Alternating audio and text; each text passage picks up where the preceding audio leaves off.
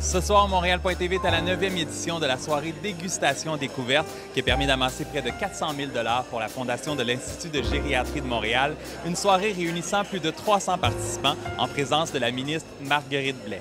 C'est quoi l'importance d'une fondation comme euh, l'Institut de gériatrie de Montréal? En supportant comme ça la fondation de l'Institut de gériatrie, euh, c'est une des causes importantes euh, qui, qui m'apparaît clé, en tout cas dans mon métier, dans mon industrie, dans ma mission de vie d'être capable de contribuer un peu au mieux vieillir.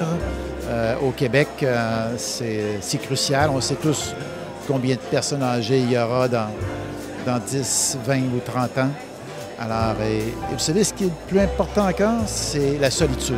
Compte tenu que le tissu social, le tissu familial au Québec change beaucoup et rapidement, euh, pas moins que, 30, que 40 pardon, des gens qui auront 80 ans dans 20 ans seront seuls.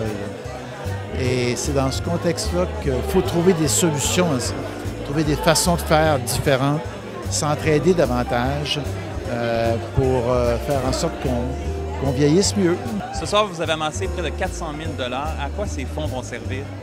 Au niveau de la recherche, euh, c'est des fonds qui vont être vraiment extrêmement importants. Donc, c'est sûr qu'en termes de, euh, support pour la recherche, c'est extrêmement euh, utile et incroyable.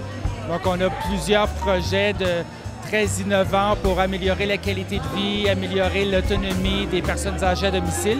Aussi au niveau des soins ici à l'Institut de gériatrie, autant pour les patients qui viennent au centre ambulatoire que les patients qui sont hébergés. Puis on a tout le volet d'éducation aussi, autant du public que des personnes ici, euh, qu'on veut réaliser puis qu'on veut améliorer. Madame Thérault, ce soir, on a eu le plaisir de vous entendre chanter. C'est quoi l'importance de s'impliquer pour une cause comme celle-ci? Alors, ce soir, c'est important pour moi d'être ici, non seulement pour rendre hommage à M. Chagnon, mais pour la cause aussi. Je trouve ça important parce qu'exactement comme Marguerite Blais disait si bien, notre ministre, euh, pourquoi maintenant les jeunes s'impliquent? Parce que tantôt, ça va être notre tour. Donc, euh, tous ensemble, il faut qu'on soit là. Et ce soir, je dois vous dire qu'il y avait, je ne sais pas, 300, 400 personnes. Et je trouve ça merveilleux.